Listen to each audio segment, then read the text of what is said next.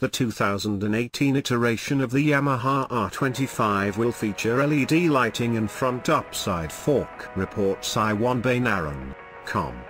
Yamaha R25 Auto Expo front quarter The 2018 Yamaha R25 will reportedly have 2017 R1-like LED headlamp and inverted forks at the front. According to the Indonesian auto website, the 2018 version will witness a major design overhaul and the LED lighting will be similar to the one found in the 2017 Yamaha YZF R1. However, the recent spy shot of the bike did not have either of the features. It could be possible that the bike was a prototype without the aforementioned features or clever masking.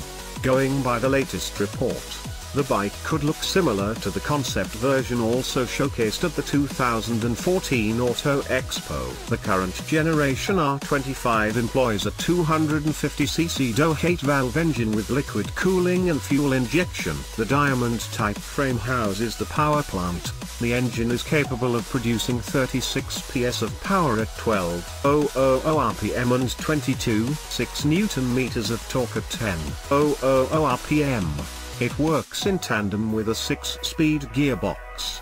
Expect Yamaha to implement some of the new technologies like variable valve actuation and slipper clutch in the 2018 Yamaha R25.